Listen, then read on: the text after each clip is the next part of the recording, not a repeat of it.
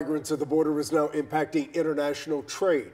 60 trains were forced to stop operations in Mexico after hundreds of people hopped on top of the freight cars trying to cross the border. CNN's Ivan Rodriguez shows us what's being done to manage the crisis.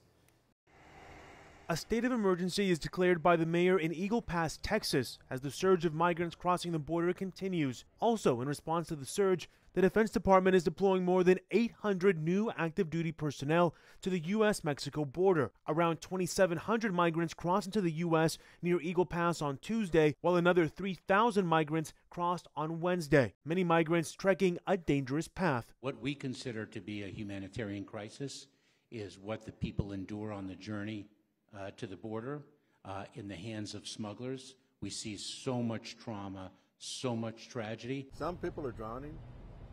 Some people are dying in, the, in some of those ranches. If we find bodies or bones, whatever. So why take a risk? Why make why make those people come like this? The Biden administration is providing humanitarian relief for Venezuelans by issuing more work permits. We can't spike the ball, but we appreciate that 15,000 uh, migrant asylum seekers are now uh, something that we can look towards moving out of our care. In the meantime, U.S. Customs and Border Protection is temporarily suspending traffic at the Texas border crossing to help the U.S. Border Patrol take migrants into custody. It's something very strange. Never thought I was going to see something like that in Eagle Pass. I'm Ivan Rodriguez reporting.